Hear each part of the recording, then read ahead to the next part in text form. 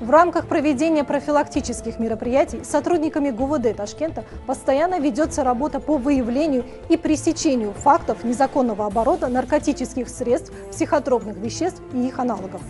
Так, за 4 месяца текущего года было возбуждено 790 уголовных дел, связанных с распространением и хранением наркотиков.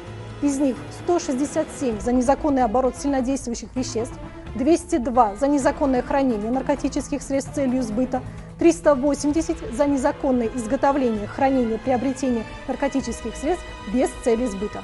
В ходе оперативных мероприятий было обнаружено и изъято 139 килограмм гашиша, 19 килограмм опия, 16,5 килограмм марихуаны, 5 килограмм 900 грамм героина и другие. Так, благодаря опыту и чутью сотрудников уголовного розыска задержан мужчина, незаконно хранивший наркотическое средство и сильно действующие вещества с целью сбыта. Далее подробнее.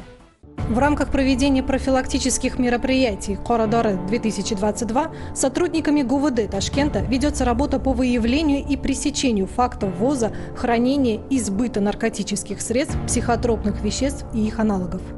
12 мая в ходе проведения профилактического мероприятия на улице Сайрам Мирзолукбекского района был остановлен молодой человек, вызвавший подозрение своим поведением. Он был доставлен в отдел внутренних дел для выяснения ситуации. В ходе проверки в присутствии понятых в пакете у 21-летнего Дельшода было обнаружено и изъято в качестве вещественных доказательств 200 флаконов тропикамида, 2900 капсул регапена и 25 грамм гашиша, которые он намеревался реализовать.